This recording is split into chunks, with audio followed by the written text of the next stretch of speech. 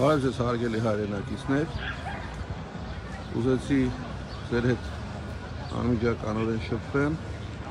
խոսենք, պատմեմ, թե ինչ եղավ այս երկու օրը, երկու գիշերը, որը անցկացրեցիք ազատության հրապարակում։ Ազատության հրապարակում այս երկու օրվա մեջ եկան հազարավոր մարդիկ, զրուցեցինք, խոսեցինք, ներկայացրեցինք։ Ազատության հրապարակում հայտնվեցին մարդիկ, հայտնվեցին այլ խմբեր, մտահոգ խմբեր, որոնք մտածում են իրենց հայրենիքի մասին, մտածում են, որ իրենց հայրենիքը իրապես պետք է լինի անվտանգ, իրենց հայրենիքը պետք է լինի անկախ, ինքնիշխան, եւ մենք որևէ դեպքում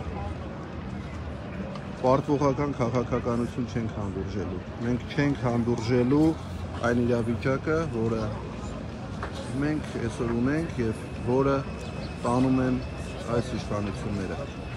Ինչ պետք է անել, որ դուրս գանք այս վիճակից։ Մեզ անընդհատ ասում են, ինչ ծրագիր ունեք, ինչ ծրագիր ունենք։ Ես ասել եմ, մենք ունենք հստակ ծրագիր եւ այդ ծրագրով մենք շարժվելու ենք առաջ եւ այդ ծրագրի շրջանիսի այսօր ժամը 19:00-ին դուք լինեք ազատության հրապարակում։ Լինեք ազատության հրապարակում եւ այն մարդիկ, որոնք լսելով այս կոչը կամ չլսելով այս կոչը չեն գա այսօր ազատության հրապարակ մենք իրար հետ միասին դուրս գանք քայլենք Երևանի փողոցներում եւ փորձենք իրազեկենք